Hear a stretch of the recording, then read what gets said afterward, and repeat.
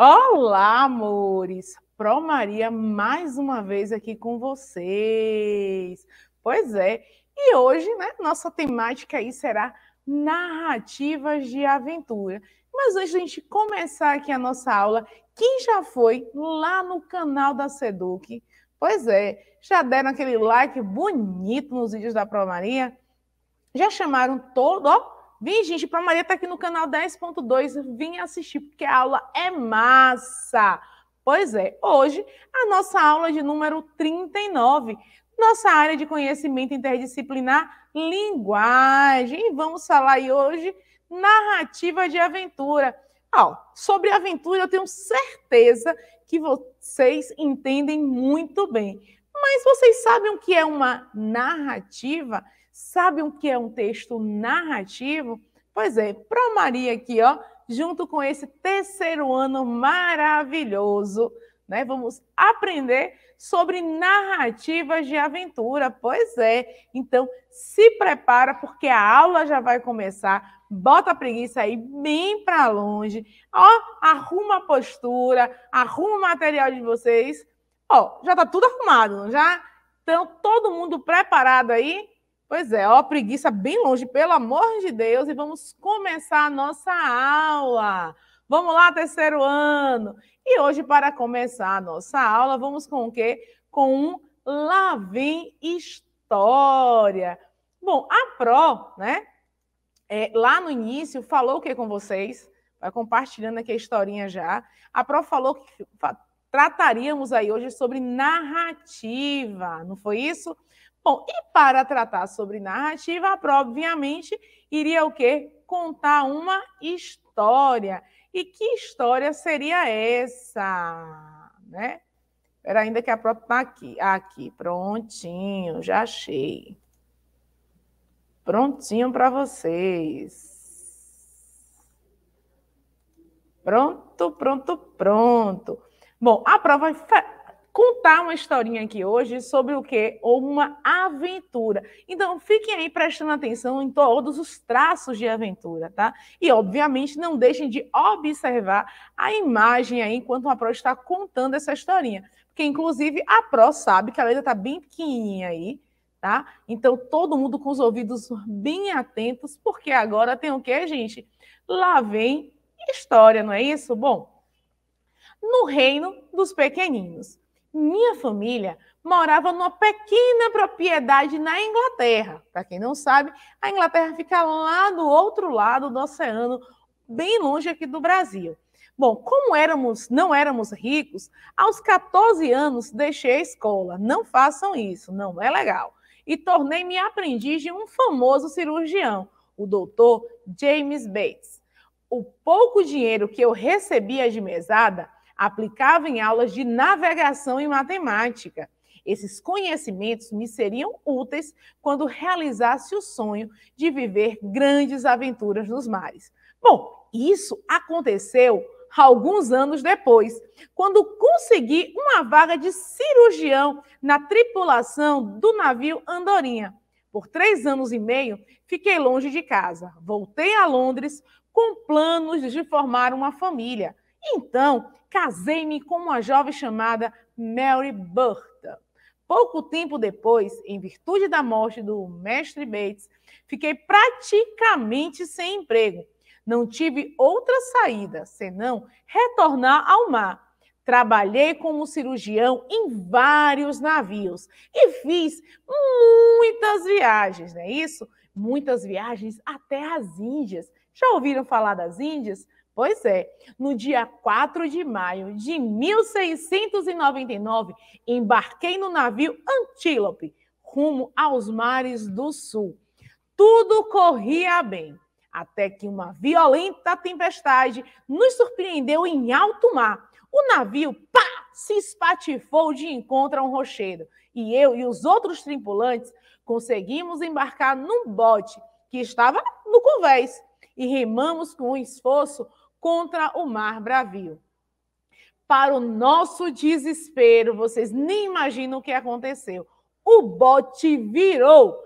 Perdi meus companheiros de vista e tratei de nadar, nadar cada vez mais. Fiquei à deriva durante uma semana.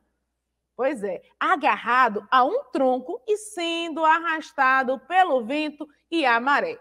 Certo dia, avistei terra firme e, com as forças que me restavam, consegui nadar até lá. Cheguei exausto. Ah! Deitei-me no chão e dormi o sono mais profundo de toda a minha vida.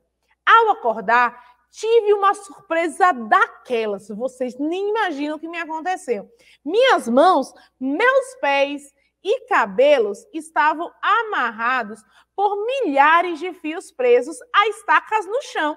Minúsculas criaturinhas humanas, armadas de arco e flecha, cercavam-me por todos os lados. Vestiam roupas esquisitas, muito esquisitas, e falavam uma língua incompreensível. Com um pouco de, com um pouco de esforço, consegui soltar minha mão esquerda. Isso provocou uma grande confusão entre eles. Uma chuva de setas atingiu-me em cheio. Ah, meu colete de couro, ah, esse sim me protegeu de ferimentos mais graves. Bem, não foi difícil concluir que eles me consideravam um gigante ameaçador e perigoso. Eu estava quase morto de fome, porque havia me alimentado pela última vez, ó, gente, bem antes do naufrágio. Levei o dedo, ó, à boca diversas vezes para, ó, demonstrar que eu queria comer. Finalmente, meu desejo foi atendido. Ah, ainda bem. Diversas escadas foram encostadas ao lado do meu corpo um batalhão de 100 homens pequeninos carregados com cestas cheias de comida, carne de diversos tipos e pães, saciaram minha fome. Barris de com vinhos, né, também foram providenciados para aliviar a minha sede. Após a refeição, um rei, né, acompanhado de seu cortejo, surgiu à minha frente, sem demonstrar qualquer tipo de hostilidade. Ele falou cerca de 10 minutos. Eu, obviamente, não conseguia entender nada. Ele apontava insistentemente para uma certa direção. Mais tarde, descobri que ali ficava a capital daquele reino, conhecida como Reino de Lilliput. Sua Majestade e o Conselho Real decidiram que eu, pois é, eu deveria ser conduzido até lá. Uma enorme engenhoca foi construída para me transportar. 900 homens me colocaram no na tal geringonça e me amarraram, amarraram com cordas bem grossas. 1.500 cavalos foram mobilizados para me conduzir. Pois é, e durante o trajeto, alguns pequeninos introduziam lanças né, em minhas narinas, o que me provocou cócegas e espirros violentos. Na verdade, só fiquei sabendo de todos esses detalhes mais tarde. Pois é, porque eu dormi como um bebê durante toda a viagem. Os liliputianos eram espertos e tinham colocado sonífero no vinho que me deram. Vocês acreditam nisso? Espertinhos, né? Bom, no dia seguinte, por volta lá do meio-dia, chegamos aos arredores da capital de Lilliput. Minha moradia seria um velho templo abandonado, localizado fora dos muros da cidade. Minha perna esquerda foi acorrentada para que eu não tentasse fugir. Ao me levantar na manhã seguinte, olhei com calma para a paisagem lá fora. Lilliput parecia um grande jardim. Campos, bosques e canteiros de flores se estendiam aí a perder de vista. Pois é, essa história ela não acaba aqui. Ela é um trecho aí, né, das Viagens de Gulliver, que foi um livro escrito por Jonathan Swift, né, e é adaptado por Lúcia é, Tuchinski, né? Assim, esses nomes, esses sobrenomes assim maravilhosos para pronunciar para vocês. Pois é, essa historinha, tá, gente? É o quê? Uma narrativa de quê? De aventura. Pois é, e como é que a gente consegue perceber que se trata aí de uma narrativa de aventura? Por quê, né? A Pro contou para vocês várias, né? Ó, foi contando aí, foi falando o quê? De uma aventura que ele está por viver. Por que a gente sabe disso? Olha, ele embarcou em um barco, depois ele fez o quê? Olha, aconteceu um naufrágio, ele cai ao mar, ele se ó, separa aí da sua tripulação. Depois acontece mais o quê? Ele vai parar em Lilliput, que é uma cidade completamente, né, um, um país aí completamente diferente, cidade não, um país completamente diferente, né, do que ele conhece. Inclusive as pessoas elas são o quê? Pequenininhas. E aí, né, tem todo um desenrolar dessa história. Mas e vocês, o que acharam dessa narrativa de aventura? Será que essa aventura vai ser bacana? Deu vontade de ler o livro? Pois é, tem o livro, né, na viagem, as viagens de Gulliver disponível, vocês podem procurar na internet. E temos também o filme. Pois é, então, bom, mas a Pro falou sobre aventura, falou sobre narrativa e precisamos, né, obviamente, aprender o que é uma narrativa. E quais são os elementos da narrativa? Quais são, gente? Vamos lá? Bom, durante toda a nossa vida ouvimos, lemos e contamos aí diferentes histórias, como é, é o caso da historinha do sítio do Pica-Pau Amarelo, que ainda faz parte da lembrança de muitas pessoas. Mas será que é só essa historinha?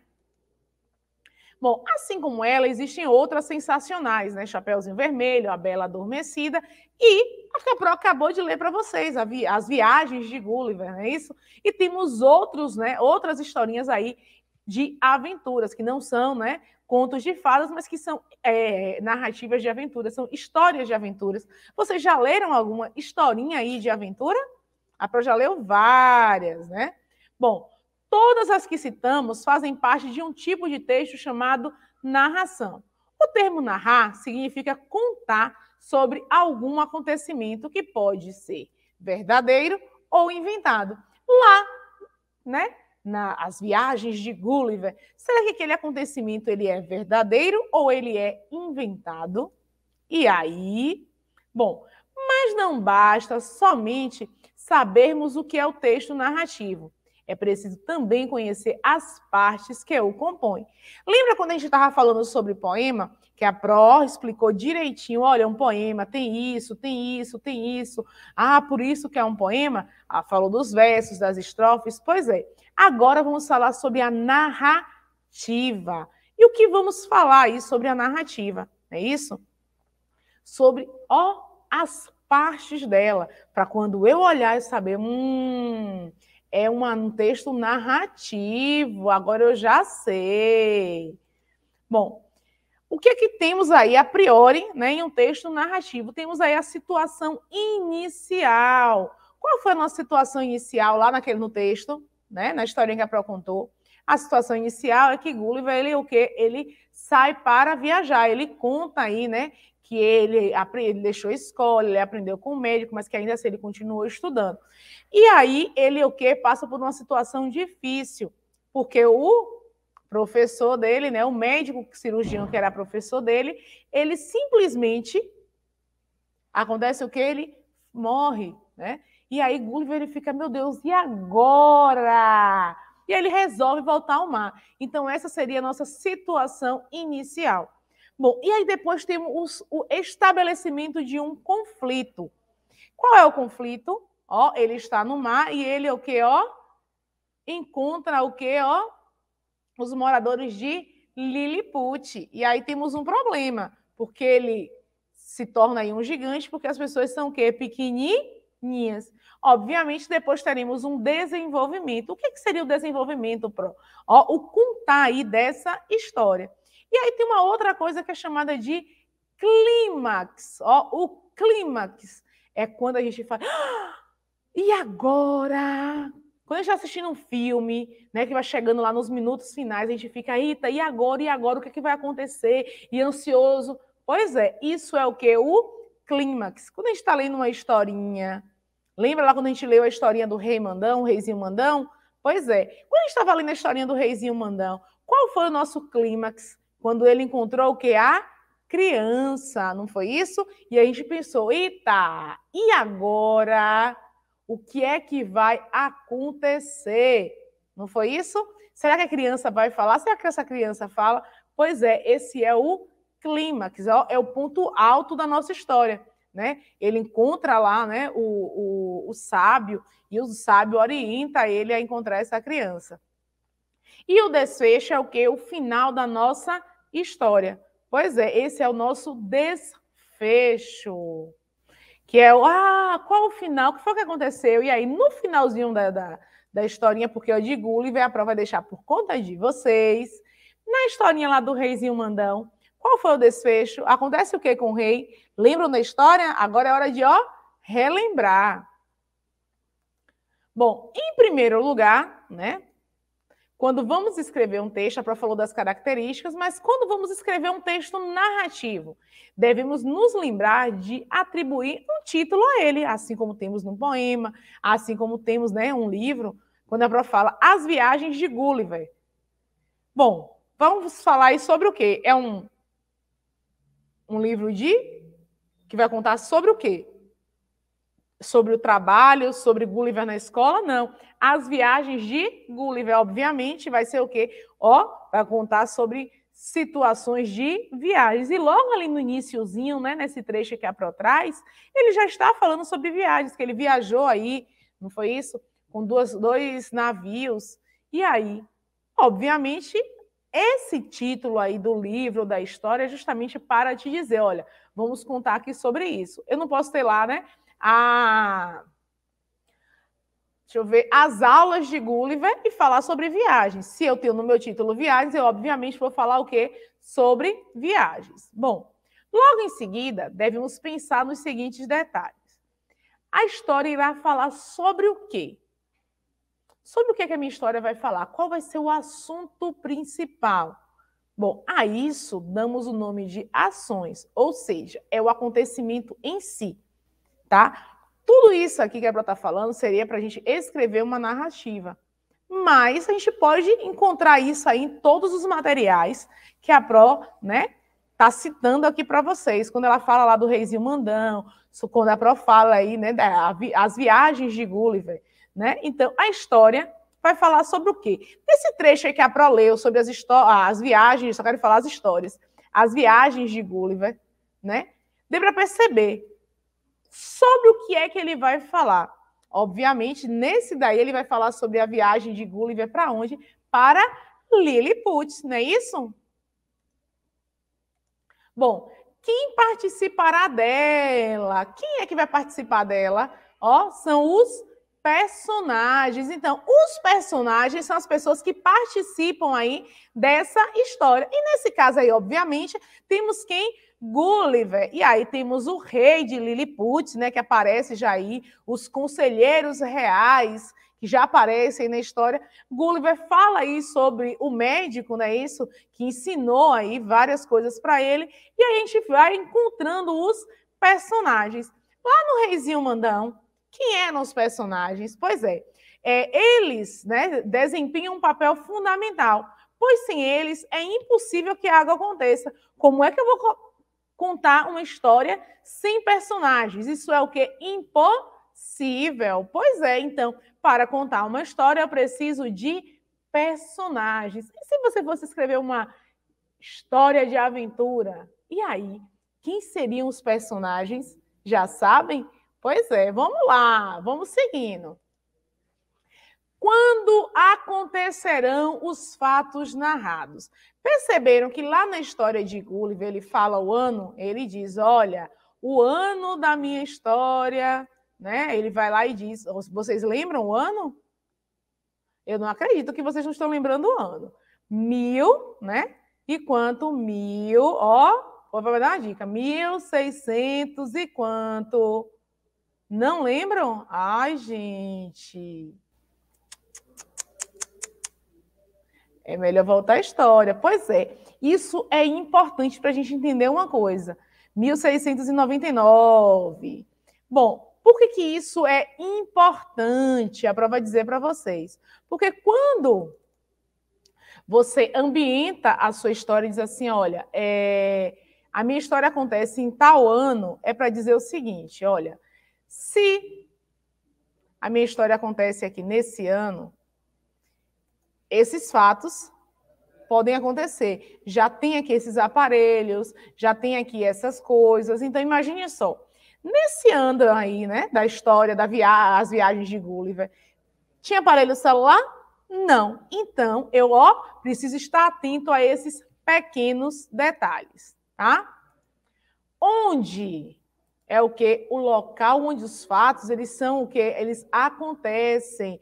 Então, lá nas viagens de Gulliver, a história ela vai acontecer aonde? Ele primeiro diz, ó, Inglaterra, e depois ele aparece aonde em Lilliput. Então a gente já sabe aonde. Começou na Inglaterra e a história vai acontecer aonde em Lilliput. Se é uma viagem, obviamente, provavelmente ele vai fazer o quê? Retornar aí para onde? Para a Inglaterra. Bom, e de que maneira tudo ocorrerá? Você já pensou? Então, vamos, ó, botar aí a nossa imaginação, nossa criatividade, ó, para funcionar ainda mais. E vamos pensar, as viagens de Gulliver, né? Todo aquele trecho que a gente já sabe. O que é que pode, olha o que vai acontecer. Como é que essas coisas irão acontecer? Ele fala que ele soltou uma mão, ele fala que ele ficou preso aí por uma corrente, mas Vamos imaginar que agora você é o escritor. Né? O que pode acontecer? De que maneira essas coisas vão acontecer? Será que Gulliver ele vai se vai soltar, vai quebrar as coisas, ele vai virar amigo? Como é que isso vai acontecer? Bom, estamos falando do modo como os acontecimentos eles irão se desenrolar, como os acontecimentos eles irão acontecer. Bom, Gulliver ele será o mocinho, ele será o bandido, ele será o vilão. E aí? Como é que esses acontecimentos, né, eles irão acontecer? Bom, a história, ela será contada por quem? Lá na historinha, né, as viagens de Gulliver. Quem é que está contando a história? Sou eu, a professora leitura. Mas sou eu que estou contando a história ou tem aí uma outra pessoa contando a história. Pois é. Toda história, gente, possui um narrador, que é a pessoa que narra os fatos. E no caso das viagens de Gulliver, quem é que está contando? É quem? Gulliver, que ele fala: olha, minha família era pobre, eu, aí ele usa, né? Ó, o eu para dizer que quem é que está contando a história? Ele. Mas vamos voltar aqui. A Pro citou aqui, né, a historinha do Reizinho Mandão. Lá na historinha do Reizinho Mandão, é o Reizinho Mandão que está contando a história ou é uma outra pessoa? Pois é, uma outra pessoa. E isso mostra que só aqui nisso aqui que a Pro está falando, ele tem o quê, ó? Dois tipos de narrador. Será que existem outros tipos de narrador? Pois é, vamos descobrir. Bom, e por último, deve haver um motivo por que, que tudo aconteceu. E aí, obviamente, lá na, na, na história As Viagens de Gulliver, tem um motivo para que tudo tenha acontecido. Nesse caso, temos a causa de todos os acontecimentos. Qual foi a causa de Gulliver ter ido parar naquele local? Daquilo está acontecendo, não é isso? Bom, ao lermos ou ouvirmos uma história, que a Prof falou agora, sabemos que houve alguém para contá-la. Não é isso? Bom, e quem conta essa história? Bom, você sabia que ele pode ser um dos componentes Sabiam sim, porque a Pro, inclusive, deu spoiler aqui e disse: olha, Gulliver, ele está fazendo parte da história. Então, olha, quando o narrador, a pessoa que está narrando os fatos, ele participa dos acontecimentos, ele é chamado de narrador personagem. Então, eu posso dizer que Gulliver, ele é um narrador o quê? Personagem. Aprenderam uma coisa nova aí agora. Bom, já aquele narrador que não participa da história recebe o nome de narrador que observador, pois ele se limita em apenas nos informar sobre todos os acontecimentos. Então, em As Viagens de Gulliver, temos um texto narrativo e o nosso narrador é o que? Narrador personagem, porque ele participa da história. Já lá na historinha do Reizinho Mandão, temos o quê? Olha, uma narrativa também, porque conta aí uma história. Já nessa parte, o que é que temos aí, ó? Um narrador que observador, porque ele está observando a história.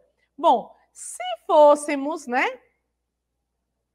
É, pensar aqui no nosso dia a dia. Aconteceu uma coisa no recreio. Né? Aí você vai contar lá para a professora. Se você só estava vendo uma coisa divertida que aconteceu, você vai contar para sua professora, você é o quê? O narrador observador. Porque você só estava o quê? Olhando, você não participou de nada.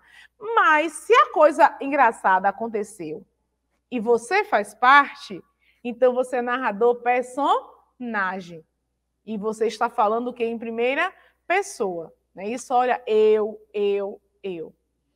Mas, Pro, me diga uma coisa. Se a coisa engraçada aconteceu, por exemplo, entre eu e o meu coleguinha, e é meu coleguinha que conta a história, ele que está contando a história. Então, ele, ele, vai ser que tipo de narrador? Narrador, personagem, porque ele também faz parte da história, tá? Bom, esse procedimento feito pelo narrador, né, recebe um nome específico, denominado aí, né, tem um nome de discurso. E de acordo com o modo que ele desempenha esta função, pode receber três classificações distintas, é o que conheceremos a seguir. Que classificações são essas? Opa, desculpa, para não colocou aqui, eu acho que tinha um slide.